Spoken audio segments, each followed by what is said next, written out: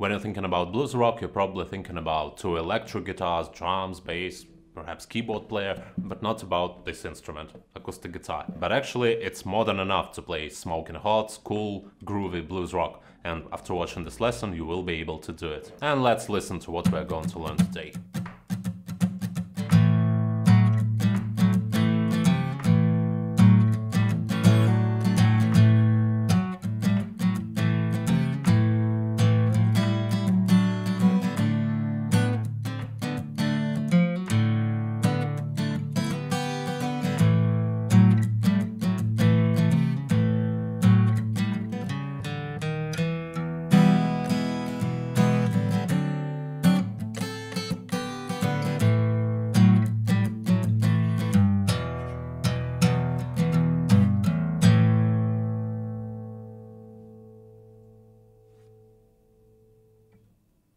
You can guess, in this video I'll show you how to play this music piece. Not only you will be able to play it from start to finish, you will also learn this really cool strumming pattern that you can use in many songs, this iconic riffs that are once again used in 90% of blues rock songs. And I'm also gonna show you a couple of cool tricks to spice things up. Not a lot of people know about them, I'm talking about stuff like...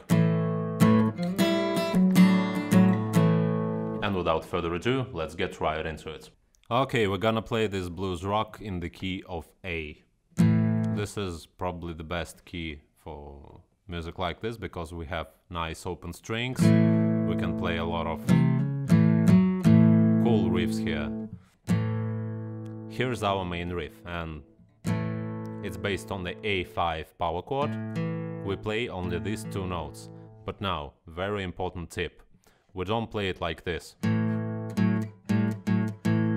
No, we play it like this. We mute all the strings around.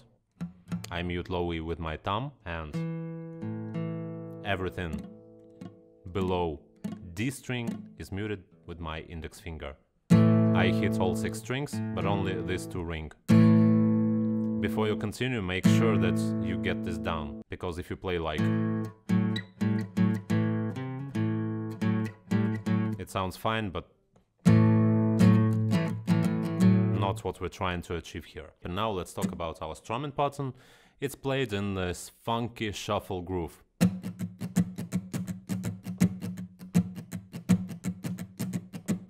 Before you even begin playing, catch this rhythm. And pay attention to accents. Don't play it just like... No.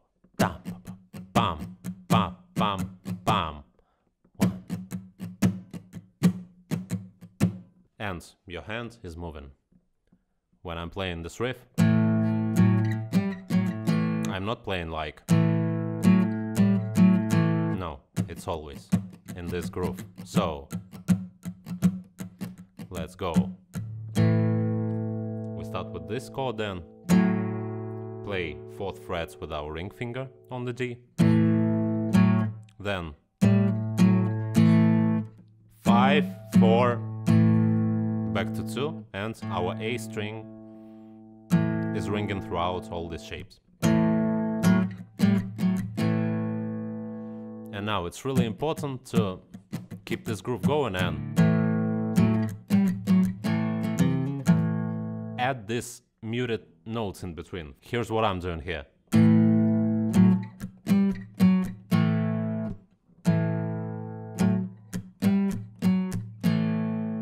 I'm playing muted notes in between all these chords.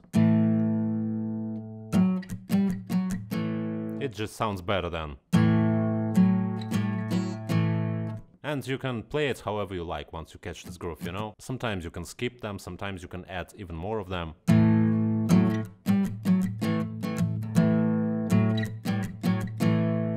So, after we come back here, we play fret 3 and 4 with hammer on on the A string. And once again, I don't play just this string. Everything is muted here. So I hit like three bass strings, but only A string rings.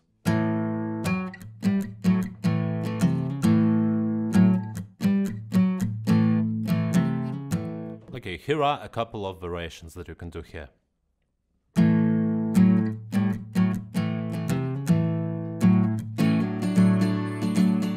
This chord. This is a so-called Keith Richards chord. It's called A6 sus4. You just uh, bar the A major, use your middle finger on fret 3 of the B string and ring finger on the fret 4 of the D.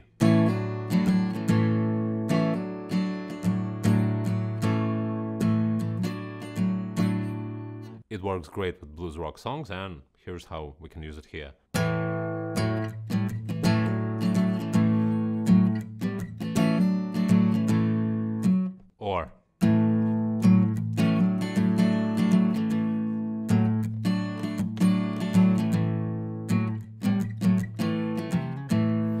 I'm only giving you the materials, it's up to you how to assemble them. But if you want to play what I played in the beginning, one time I played with this hammer on, and the second time, then our third riff is the same as the first one. And here's another cool trick. So, this, there are two shapes here. We slide to the fifth fret of the D and play fret 5 on the B. And you know you can you can either strum or pick, it doesn't matter. Sounds nice both ways. I'm doing something in between. I let my high ring. We start here and our second shape is fret 4 on the G, fret 3 on the B.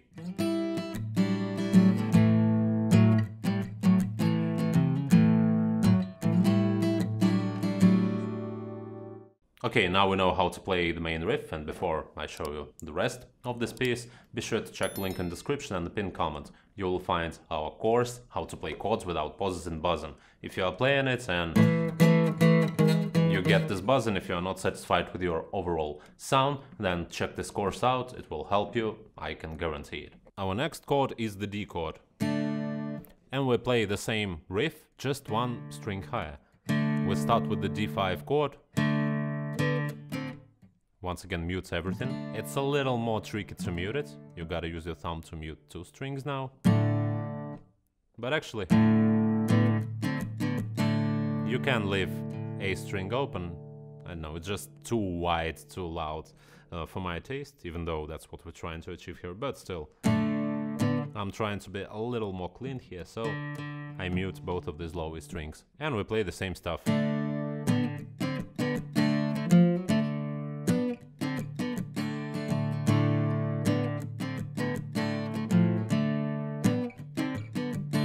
You can either use your pinky here or move your hand and slide to the fret 4 on the B and fret 3 on the high E. So, one time I play with hammer on and then and then we go back to the A.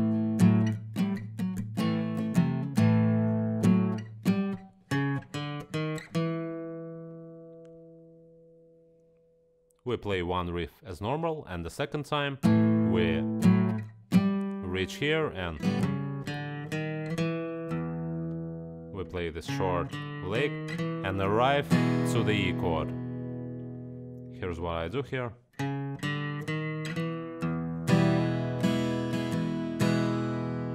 I just strum this E chord, nothing fancy here.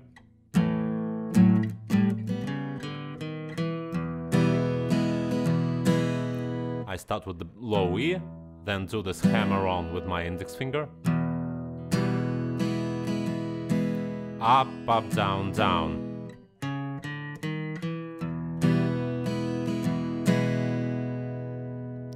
Then we gotta return to the D chord, but instead of playing it here, I play this uh, D7 just to spice things up a little bit.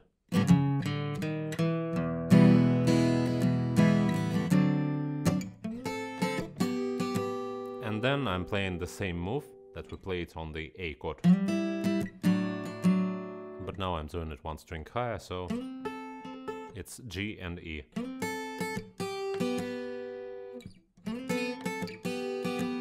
And we go back to the A. Play it one time.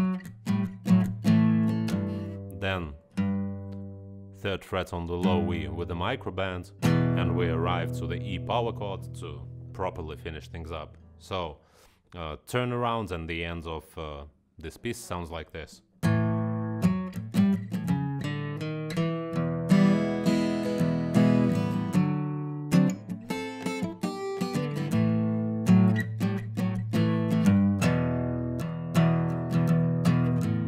Just strum it however you want and back to A.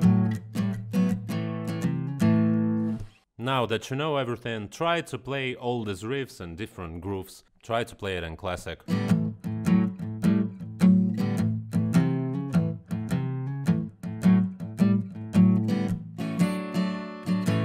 Try to play it as a straight rock.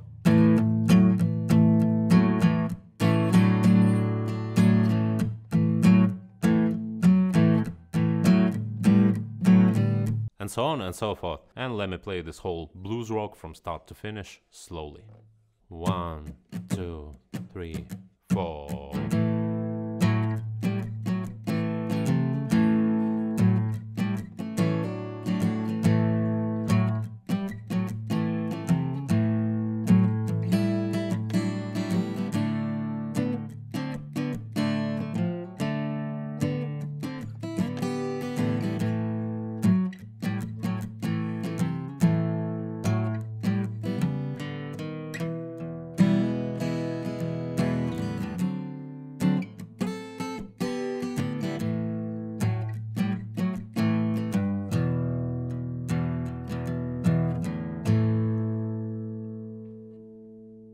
Really hope you didn't have much trouble learning this piece, and if you want to learn something in the same vein, then check this lesson out. It's Cool Blues Rock by Motorhead. I'm sure you'll dig it.